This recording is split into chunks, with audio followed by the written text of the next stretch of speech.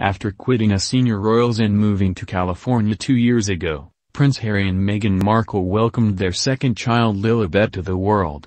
Lilibet Lily Diana was born on June 4, 2021, at Santa Barbara Cottage Hospital.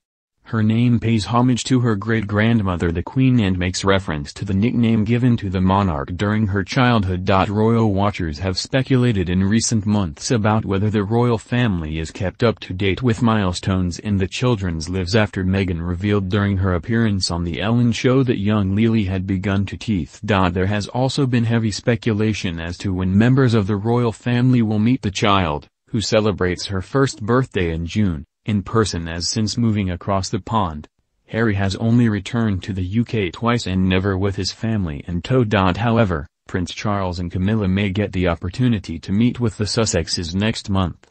On Monday it was announced that the Prince of Wales and his wife Camilla, Duchess of Cornwall will be embarking on a royal tour of Canada to mark the Queen's Platinum Jubilee. The couple will carry out the tour in May. Charles and Camilla will meet communities throughout Newfoundland and Labrador. Canada's capital region, and the Northwest Territories. Further details about the royal couple's itinerary will be released in due course. Clarence House has yet to comment on whether Charles will visit Harry and Meghan during his trip across the Atlantic.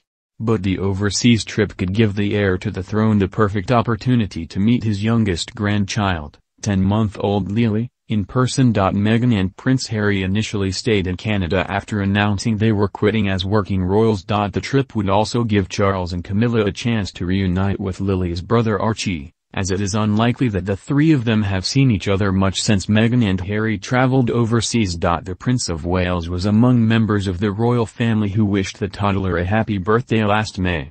Last year, the Clarence House account shared a snap from Archie's christening in 2019 where he is cradled by Prince Harry, who joined Charles to gaze fondly at the youngster.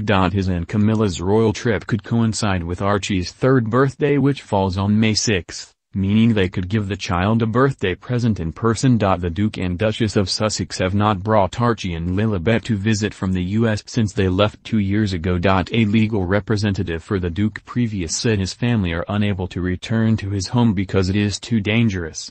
This led to Harry pursuing a legal challenge against the Home Office after being told he would no longer be given the same degree of personal protective security when visiting from the U.S despite offering to pay for it himself. The legal rep added that Harry and Meghan pay for their own security in the U.S. This privately funded security team could accompany the Sussexes if they were to meet with Charles on Canadian soil, or if he and Camilla make the journey to California to visit them. Back in February, Harry's cousin Eugenie was pictured visiting her cousin, Prince Harry, and his wife, Meghan. Princess Eugenie joined Harry in the crowd at the Super Bowl on 13 February, and she and husband, Jack Brooksbank, were spotted enjoying a dinner with the Sussexes in Santa Barbara. Eugenie is thought to have been the couple's first visitor from TH.